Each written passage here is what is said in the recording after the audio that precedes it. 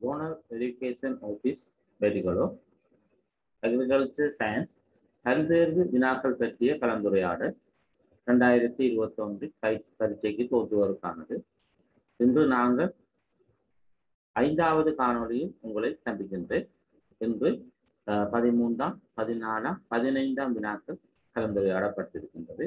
ஏற்கனவே நான்கு காணொளிகள் வெளியிடப்பட்டுள்ளது. இதை பார்த்து பயன்பெற்றிருப்பீர்கள் என நினைக்கின்றேன். பாருங்கள் காணொலிக்குள் செல்வோம். இந்த காணொளிக்கான அனுசரணையை மட்டக்களப்பு வலய கல்வி அலுவலகம் வழங்குகின்றது.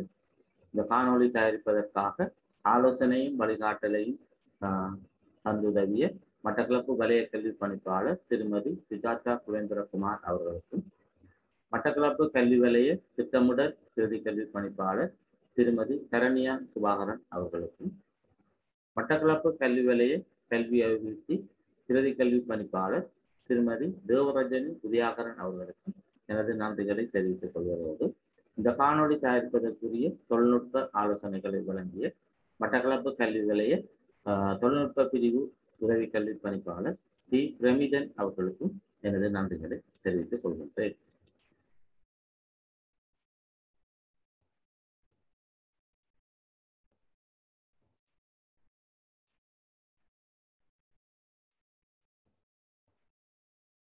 நான் பி எஃப் ராஜேந்திரகுமார் மட்டக்களப்பு மாஜன கல்லூரி.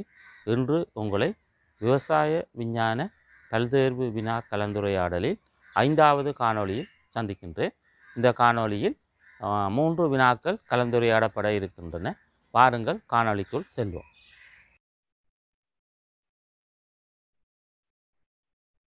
பதிமூன்றாவது வினா நாட்டு நடுகை மற்றும் வித்து விதைப்பு ஆகியன நிச்சயின் போது அதிக அளவில் பயன்படுத்தப்படும் பயிர் தாவிப்பு முறைகளாகும். இவை தொடர்பான மிகச்சரியான கூட்டு கூற்று. அதாவது நாட்டு நடுகை வித்து விதைப்பு வந்து பயிர் தாவிப்புல நெல்லில் வந்து ஒரு முக்கியமான முறைகளாக இருக்கு இதை பற்றி தான் இந்த கேள்வி அஹ், தந்திருக்கிறாங்க. பார்ப்போம். அதுல அஹ், முதலாவது விடையாக தந்திருக்கிறாங்க. நாட்டு நடுகைக்கு தேவையாகும் உழைப்பை விட வித்து விதைப்பின் போது உழைப்பு தேவையாகும். ஆஹ் வித்து விதைப்பின் போது வீசி விதைத்தல் வரிசையில் நாட்டுதல் போன்றவற்றுக்கு உழைப்பு வந்து குறைவாகத்தான் தேவை. நாட்டு நடத்தைக்கு தான் அதிகமான தொழிலாளர்கள் தேவைப்படும். ஆகவே இந்த விடை பிழையான விடையாகும். இரண்டாவது விடையை பார்க்கக்குள்ள நாட்டு நடுகையிலும் பார்த்து வித்தின் விதை விதைப்பின் போது விளைச்சல் அதிகமாகும். உங்களுக்கு தெரியும் வித்து விதைக்கக்குள்ள பயிர்களுக்கு இடையில வந்து ஆஹ் சீரான இடைவெளி கோணப்படாது அதே நேரத்தில் நாட்டு நடுகையின் போது வந்து சீரான இடைவெளி கோணப்படுறதால மட்டம் பெயர்தல் அதிகரிக்கும். மற்றது பயிர்களுக்கு இடையிலே போட்டிகள் ஏற்படாது. இதால வந்து நாட்டு நடுகள்ல தான் வந்து நடுக முறையில தான் வந்து விளைச்சல் அதிகம். ஆகவே இங்க வந்து வித்து விதைப்பின் போது விளைச்சல் அதிகம் என்று தந்திருக்கு.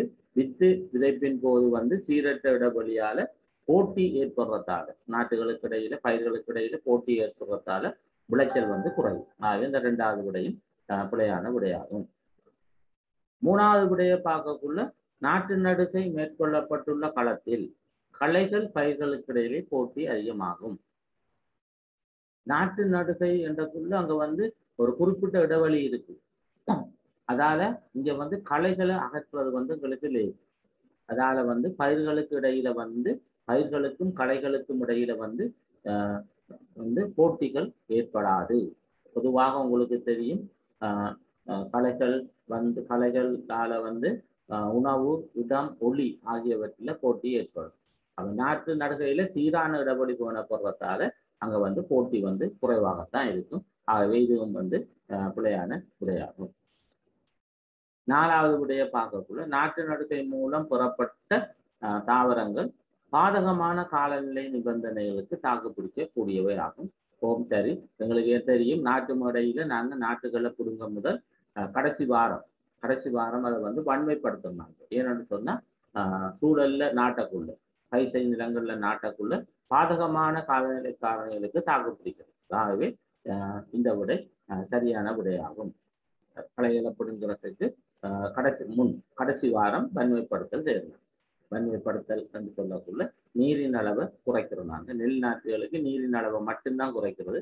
ஏனைய நாட்டுகளுக்கு மரக்கறி நாட்டுகளுக்கு வந்து நீரின் அளவை குறைத்து அஹ், கிடைக்கக்கூடிய ஒளியின் அளவை கூப்பிடுறாங்க ஆகவே இந்த நாலாவது விடை தான் சரியான விடையாகும் அடுத்தது வித்து விதைப்பின் போது அதிகம் பட்டம் பெயர்தல் சதவீதம் நடக்கும் என்று வந்து நான் ஏற்கனவே சொன்னேன்னா அங்க வந்து சீரற்ற இடைவெளி இருக்கிறதால மட்டம் பெறுதல் வந்து குறைவாக இருக்கும். நாட்டு நடுகையில வந்து நாட்டுகளுக்கு இடையில சீரான இடைவெளி தோணப்படுவதால மட்டம் பெறுதல். சரியாக இருக்கும். ஆகவே அந்த அஹ், இதுக்குரிய விடைகளை நீங்க பார்த்திருப்பீங்க அடுத்த கேள்விகளை பார்ப்போம். பதினான்காவது விடை.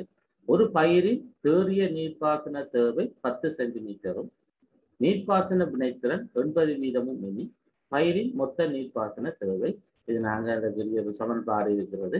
அஹ், மொத்த நீர்ப்பாசனம் சமன் தேறிய நீர்ப்பாசனம் கீழ் நீர்ப்பாசன வினைத்திறன் அப்ப இங்க தந்து இருக்குது தேறிய நீர்ப்பாசனம் பத்து சென்டிமீட்டர். நீர்ப்பாசனம் வினைத்திறன் எண்பது ஆக தர நூறு அப்ப அதாவது நூற்றுக்கு எண்பது. அப்ப எண்பது கீழ் நூறு ரெண்டு வரும் ஆகவே நூறு வந்து மேலே போகும். அவர் நாங்கள் சுருக்கணும் என்று சொன்னால் பன்னெண்டு தசம் ஐந்து சென்டிமீட்டர். பன்னெண்டு தசம் ஐந்து சென்டிமீட்டர் நீரை நாங்கள் நீர்ப்பாசனம் செய்தோம்னா நீர்ப்பாசன வினைத்திறன் எண்பது வீதம் இருக்கிற காரணத்தால பயிர் செய்கிற நிலத்துல வந்து பத்து சென்டிமீட்டர் நீர் தான் கிடைக்கும். அது அப்ப மொத்த நீர்ப்பாசனம் தமிழ் தேறிய நீர்ப்பாசனத்திற்கு நீர்ப்பாசன வினைத்திறன் அந்த சமன்பாட்டில் பிரதிவித்து நாங்கள் இதுக்குரிய விடையை கண்டுபிடித்துக் கொள்ளலாம். அப்போ விடை வந்து பன்னெண்டு வருஷம் ஐந்து நூறாவது விடையாக வரும். மற்ற விடைகள் எல்லாம் புலையான விடைகள் ஆகும். நீர்ப்பாசன கடித்தல்களில் நாங்கள் வந்து இதுகளை வந்து பார்த்து கொள்ள வேண்டும். அடுத்தது பதினைந்தாவது வினாவை பார்த்தோம்னா காற்றிலான வளர்ப்பு முறையின் போது பயன்படுத்தக்கூடியது. உங்களுக்கு தெரியும் ஆஹ் மண்ணின்றிய பயிற்சிகையில நீர்மய ஊடக பயிற்சிகையில வந்து நாங்க பார்க்குற முறை சுற்று சுற்றோட்ட முறை சுற்றோட்டம் அல்லாத முறை அடுத்தது காற்றிலான பயிற்சிகை முறை என்று பார்க்கிறோம் நாங்கள் இங்க வந்து வேர்களுக்கு நாங்க ஆஹ் போசனை திரவத்தை வந்து விசிறணும் ஸ்ப்ரே பண்றோம் ஸ்ப்ரே பண்ணி விடுவோம். அதான் இது படத்தில் படத்துல பார்த்தா தெரியும். இந்த இதுல இருக்கிற இங்க போசனை தாங்கியில இருந்து குழாய் மூலம் வார போசனை திரவம் இங்க வந்து நொசில்களுக்கு ஊடாக வேறு நோக்கி விசிறப்படுது.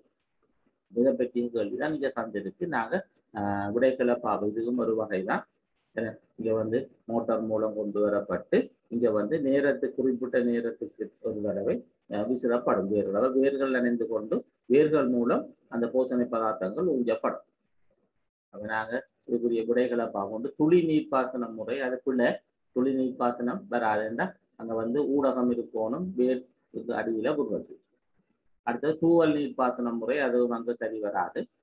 சரிதானே? அடுத்தது மோதிர பாசன முறை இது ஒரு இது ஒரு மேற்பரப்பு பாசன முறை. அடுத்தது பாத்தி பாசன முறை. இதுவும் மேற்பரப்பு நீர்ப்பாசன முறை. இங்கே தரப்பட்டுள்ள ரெண்டாவது உடை வந்து பனிப்புகார் பாசன முறை அந்த மிஸ் மிஸ்ட் இரிகேஷன் என்று சொல்றது பனிப்புகாரோட வீசுவது இதுதான் இதுக்கு உரியது. இது ஒரு அடைக்கப்பட்ட ஒரு இடத்துல இந்த நீர்ப்பாசனம் நடைபெறும். ஆகவே நாங்கள் இன்றைக்கு மூன்று வினாக்களை பற்றி கலந்துரையாடி இருக்கிறோம் பதிமூன்று பதினாலு பதினைந்து வினாக்கள். தொடர்ந்தும் ஏனைய வினாக்களை பற்றி நாங்கள் கலந்துரையாட இருக்கின்றோம். இந்த காணொலியையும் பார்த்து நீங்கள் பயன்பெறுமாறு கேட்டுக்கொள்கின்றேன். மீண்டும் அடுத்த காணொலியில் உங்களை நான்